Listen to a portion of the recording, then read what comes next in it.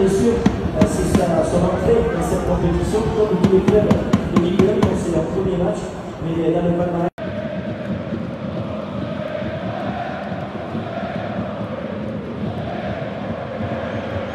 Dans une superbe démonstration de domination, le Paris Saint-Germain, PSG, a dominé l'équipe US Revel avec une incroyable performance de 8 buts en Coupe de France.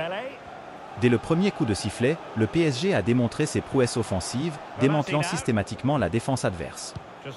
Le match a été marqué par une masterclass donnée par les joueurs vedettes du PSG qui ont combiné de manière transparente compétences, passes précises et finitions cliniques pour trouver le fond des filets à plusieurs reprises.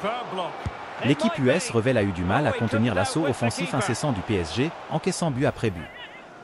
Le score final de 8 à 0 a souligné la maîtrise totale du match par le PSG, ne laissant aucun doute sur sa supériorité lors de la rencontre en Coupe de France. Cette victoire éclatante témoigne des formidables capacités du PSG et a laissé les supporters et les experts impressionnés par leur prouesse footballistique.